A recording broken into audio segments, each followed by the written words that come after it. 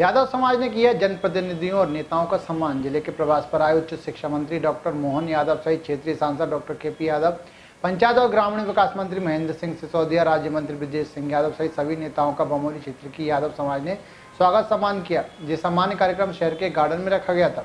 वहीं इस मौके पर नेताओं ने समाज को एकजुट होने को कहा और कहा है कि अपना मत राष्ट्र को समर्पित करें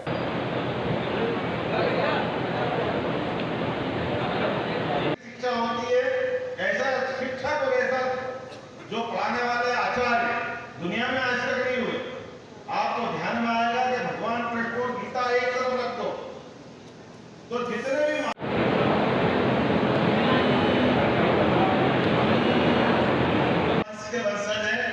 और हमारी संस्कृति भी है वो ऊपर वाले भगवान कृष्ण अपने है और हम करते जाते हमको अलग से अपना योगदान देने की ज़रूरत नहीं। और मुझे इस बात का भी गर्व है आप कभी गौर करिएगा भगवान के जीवन काल में अगर कृष्ण भगवान नहीं होते शिवराज सिंह जी की सरकार को तीन साल और चला के रखना है, क्योंकि शिवराज सिंह ऐसे मुख्यमंत्री हैं, मैंने कई मुख्यमंत्रियों के साथ काम किया, मगर शिवराज सिंह जी चौहान का कोई तोड़ नहीं है। किसानों के लिए जीता है, किसानों के लिए मरता है। और आज देखे आप दो तीन महीने के अंदर जो कांग्रेस के समय काम हुआ, पंद्रह माह में, वो शिवराज सिंह चौहान की सरकार ने किया कहा कुछ भी किया, किंतु मैंने कभी किसी का बुरा नहीं किया।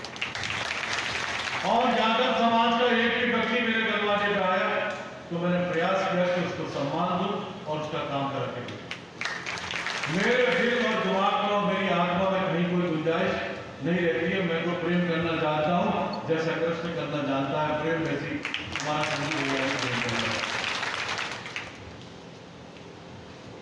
हमारा छोटे भाई नयन सिंह खतौड़ा ने कहा कि हम दो तीन महीने के चुनाव में रहे। इनके परम पूज्य स्वर्गीय बोला था। किसान कांग्रेस पार्टी ने 27 परसेंट आरक्षण ओबीसी में दिया था। तो आप लोग करोगे कि नहीं? कांग्रेस पार्टी ने तो ऐसे पता नहीं कितने प्रस्ताव पारित कर दिए, मगर एक भी फलीभूत नहीं अभी मैंने मोहन सिंह जी से चर्चा की है।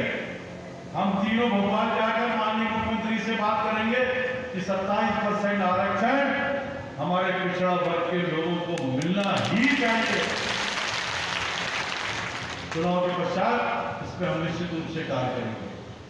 तो आप सबका बहुत बहुत अभिनंदन और आप सबका आशीर्वाद। सदैव मुझे मिला है।